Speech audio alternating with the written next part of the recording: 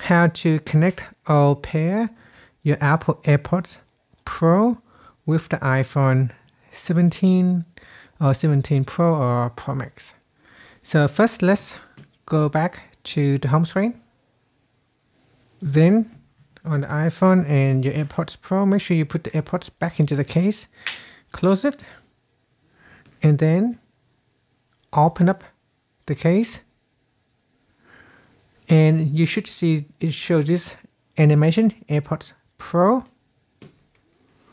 Uh, there should be another connect button. So something is going on here. So we just wait for a few seconds. If you continue to see a blank window here what we can do is close the case. At the back of the case here there is a button. So depending on which model that you have uh, for newer model, you can tap on this here twice or three times. So depending on which models you have, you can tap on it twice or three times. Now for this particular model, AirPods Pro 2, I can press and hold at the back here. So press and hold until the light flashes orange and then it will flashes white.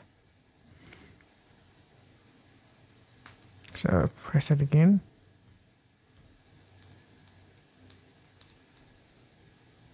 So we need to actually open up the case. So open it and then pressing it, pressing the button, you can hear the sound.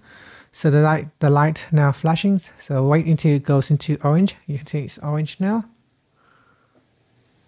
And continue to hold until it goes back to white. Okay, now it's going back to white. So we go to the iPhone. Okay, so we close the case, then open it hopefully the phone will pick up. So now it is picking up and then tap on connect. Now this sometimes can happen when your uh, AirPods is connected to another uh, phone.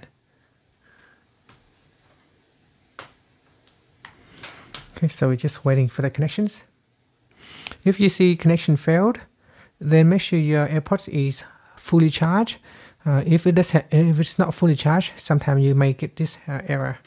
And if it is fully charged and you still get that uh, issues, then we may need to plug the AirPods into here, plug the charger cable in, and we try again. So tap on try again, we open, and make sure it is connected.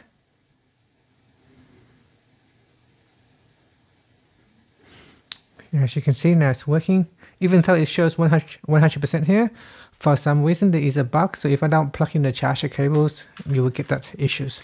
Okay so only if you get issues you need to plug it in. Here we tap on continued. And we tap on not now.